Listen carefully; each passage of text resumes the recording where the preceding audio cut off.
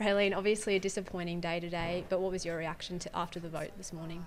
Yeah, very disappointed. Uh, we'd really put our best foot forward. The support that we've had from New South Wales and the federal government was truly outstanding, and we know that we put a compelling case together, and the presentation went well. But unfortunately, uh, we didn't get the votes on the day. What, what do you think was the difference, or what was the feedback that you guys got in the room?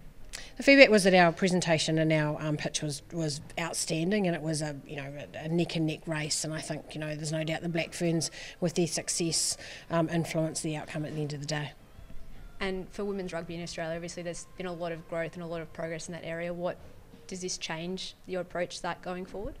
It doesn't change anything from a developing our Wallaroos team. It just means now that we won't be playing on home soil, we'll be going across the Tasman to, to try and win that World Cup. So um, it gives us a great opportunity. It's in our time zone. It's all that focused area. So whilst disappointing that the girls won't get get to play at home, they'll still get a huge amount of support from their families who'll be able to travel to New Zealand to watch them play yeah, is that I guess in some ways a bit of a silver lining that it is going to be in the Southern Hemisphere? It's still a really historic day for women's rugby.